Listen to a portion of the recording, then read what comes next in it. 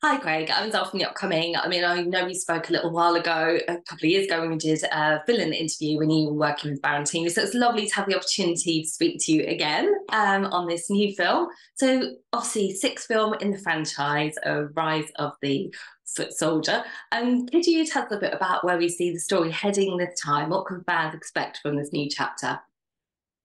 This is very, very different to the last five films. Um, each one we tried to keep fresh and different. And when I met Andy Loveday last year, we decided, he said to me, Would you do another film? Um, and I said, Yeah, you know what, I would if it if it if we how do we really make it different? Um j- just different. So we, we came up with the idea of revenge. Um, Signature, the distributor, went crazy he had a working title with Tate. That's what it was called. it was basically me on a mission to find find the murderers of of Kenny. Um, and you getting to know me and then taking him out of Essex and putting him in Soho, going against a whole different gang of villains. Um, so I went away. I went out to Cape Town to do a TV series, and in that interim time, Andy Loveday and Jason Maza got together, wrote a treatment called Tate, as I said, gave it to Signature. They went mad on it, and then it got the green light, and and then here we are, a year later with the film coming out. But basically, it's a very violent tale of revenge. Uh, yeah. That's all I can say. Yeah. Yeah, well, I mean, obviously, I, I really enjoyed it, surprisingly. uh, it surprisingly, what do you mean? the girl. um, obviously, we all know that Patrick Tate is a real person, you know, he's gangster, pop the Essex boy. What is it about the character of Patrick Tate that kind of keeps you coming back to screens, portray him and, and not just a pin of him for you, but kind of for bands too, do you think? Well, it's a fantastic character to play. Um, you know, there's not the. I had to be careful with this film because with what I did with Villain, um, and even in Muscle and Violent Man, there was there was because the human side of it was so strong, the emotional thread, you know, of of more so villain, you know, with of the, of the, of the just the emotional turmoil. I couldn't really, I couldn't put that into Foot Soldier because it would have been what the, you know, because that's not Pat. Pat's like a machine. He's like a, you know, um, he's very resilient and nothing gets to him. So we couldn't put that in it, which was a shame because um, but what I tried to do was just do a couple of little actions that were slightly redeeming qualities, you know, that just make you think, oh, yeah. And um, and then the rest of it is just him doing what he does. Uh, and then me trying to make that as real as, as possible, you know. But I, I, I think Pat has he transcended this this world and from the emails that I get and the messages that I get, and from the people who stop me in the street, they they they loved what I've done with the character. They like me as an actor playing that part. So the two things of of really galvanized and come together, and it's worked. You know. Yeah. I mean, it really does. I mean, I think it's got a bit of an edge over some of these British uh, crime sort of films. And it's very telling because obviously you're on the sixth film. so, what do you think is about the storylines of characters that kind of set it apart? Well, I, I, I, to be honest with you, when you think about it, you know, we're all sort of bombarded with big American products all the time, all the streaming services, all the Marvel movies. And I do feel that you, there is a neglected audience because there's a lot of people love they love British crime films, gangsters, this and that, because it's a it's a dying trend. And when you do get them, and they're set here, and it's got a good soundtrack, and your characters are talking like you know what I mean? They the fellas love it. They really do. The fan base has grown and grown and grown and grown and grown. I get thousands of emails of people who are just discovering the franchise and they're so excited. They're like, they can't put it into words. It's amazing. It must be nice because then they've got six to get through as well. They're not just stopping yeah. at the one. You know, it's brilliant. So you've obviously got a fantastic ensemble cast in this. You've got Jamie Foreman, George Russo, Sadie Frost, Tara Fitzgerald. You know, what did you kind of have a say in who you kind of wanted to bring into the mix to work with? And what was it like working with them? Well, Andy said to me, he said, you know, with the product, the, the, films that you've done over the last couple of years outside of the franchise, you know, Muscle, Villain, and A Violent Man, mm. it's the factors because you've you've done critically acclaimed movies, um, and people are taking you seriously now as an actor. You coming back to this and us going out with scripts and saying it's Craig, he's on his own, he's doing it. I feel that the, the actors of certain caliber feel comfortable in the fact that I know what I'm doing they know what they're doing and they know that we all care about what we what we do. I know most of those actors. Um, but the likes of Phil Davis, Sadie Frost, Tara Fitzgerald, Geoff Bell, you know, these are all people, Jamie, these are all people that I've grown up with and I admire. You know, and then we've got the young guns, you know, the George Russos, the, you know, the and the young kids that are coming through. Um, I admire them all.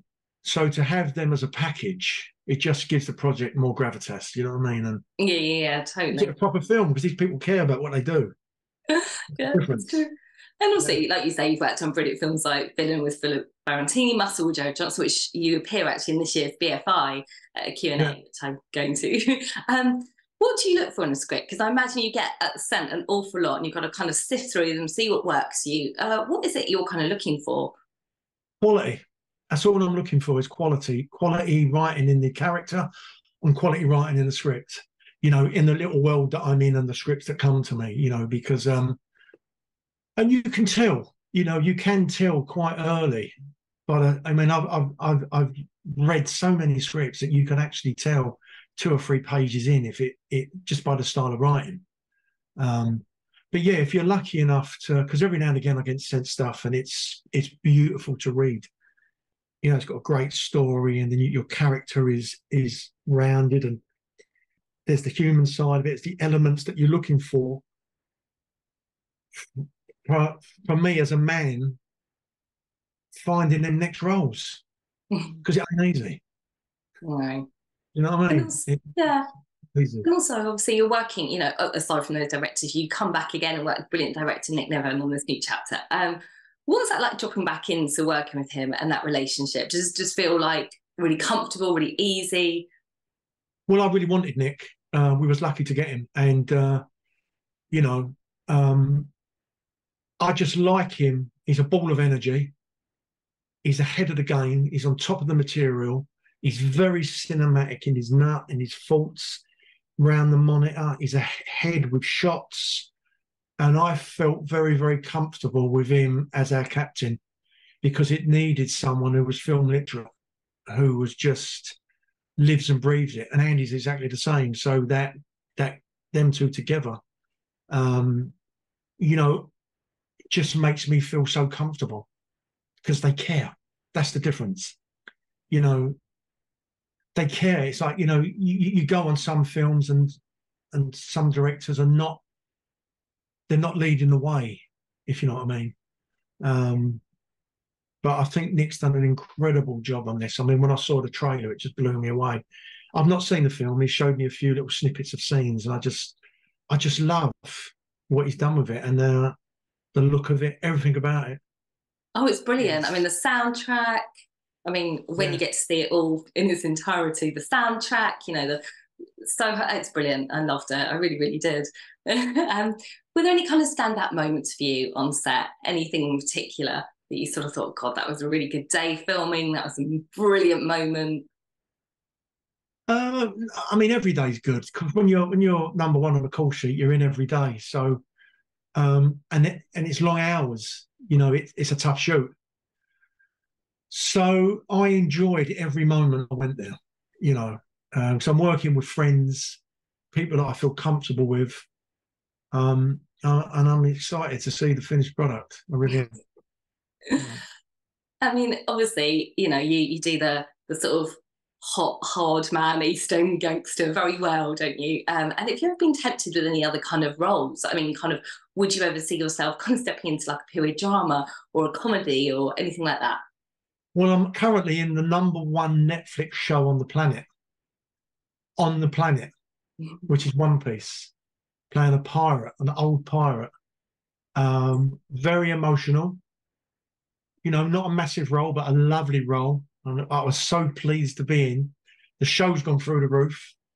Um, yeah, I'm I'm I'm I like to have I like to do roles where there's where I can put a little bit of me in there. You know what I mean? For comfort, for the comfort factor.